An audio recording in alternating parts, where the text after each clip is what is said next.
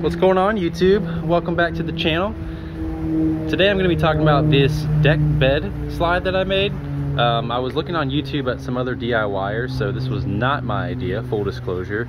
And I hope that the guy who made this design looks at this video um, because I appreciate it, man. You did a great job and I just copied your build, so um, more power to you, brother. Uh, I did not stain and seal this wood like he did in his video, so this is just the raw wood look, but uh, I might. I, eventually, a, a, I'm, I'm getting the RSI smart cap to go over my truck bed here, and you know I don't need this to be completely waterproof because that cap is.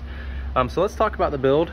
This is three quarter inch pressure treated plywood on the base, and then on top is another piece of three quarter inch pressure treated plywood. Plywood. On the side is one by four, and that runs all the way down um, this bed is a five foot, eight inch bed. So I, I, cut the bottom here to 69 inches and then this right here to 69 and a half to give it a little bit of a, a ability to grab right here. And that was courteous of the other guy who made this video. He, he provided that tip. So that was not my idea. Um, what I did add were these handles right here. And then you have this grab handle here and another grab handle here on either side. Uh, so on the top here is a one by two and that allows the uh, board from from popping up as you pull it out and as weight gets out. Um, but it's pretty dang strong. Um, it's heavy as heck. Uh, I, honestly, it's almost too heavy. I feel like it might affect my MPG a bit, maybe maybe a mile or so. I mean, it, it, it's heavy. um, it's not going anywhere, that's for sure. But it's all pressure treated, pretty heavy duty. Let me go ahead and put the camera on the mount and show you how it works.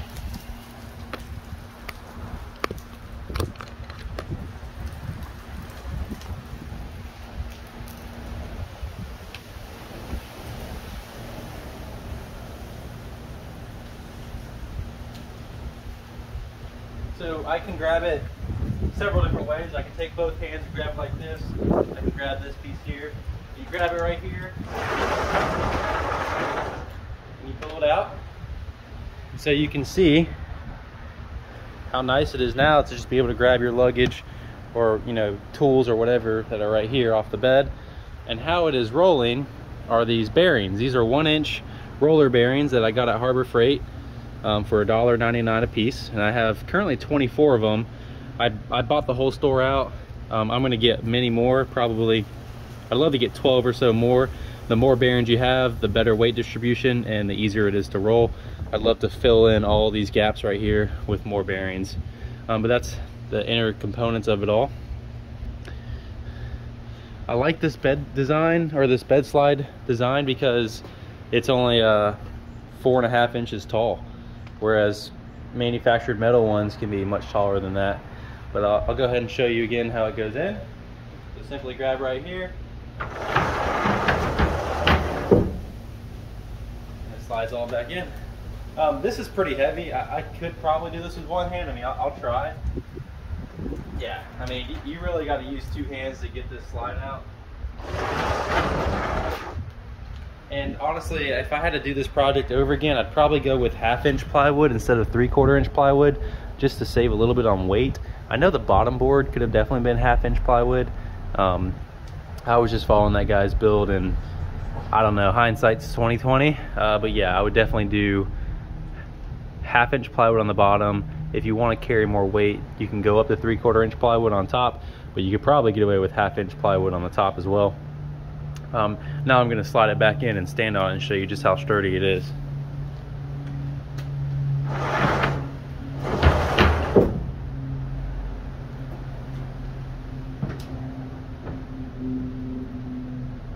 Yeah, it doesn't give it all anywhere. Huh?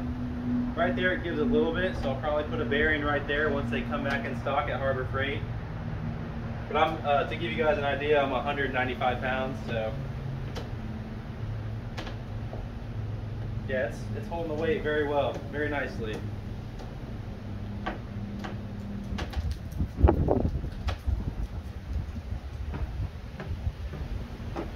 Uh, total material cost on this build was about 150 bucks.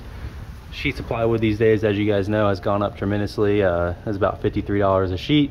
So that's $106 right there. And then the one by four was, I don't know, 12 bucks. And then the one by two, I got two pieces. That was, I don't know, $10. So 150 total. I could do the stain and paint it and make it nicer, but I don't know. I'm just gonna probably, probably let it be. Uh, another thing that I also did was I put three screws right here and I pre-drilled these so the wood wouldn't split. I wanted three at the end here just for extra support because when this slide is all the way out, there's gonna be a lot of pressure on that two by two or one by two pulling up. So I wanted to put three screws in there. But then I have, so three here and then going down, I have four more down and I have the same setup over here as well. So I pre-drilled these so they wouldn't split, but then down there, I just, I just drilled right through. I think I have probably two and a half inch deck screws. Um, so yeah. Outside of that, fun project. Can't wait to see how functional it is. Um, and we'll go from there. Thanks for watching. Let me know if you have any questions. And I appreciate the guy who made this design. Go you, man.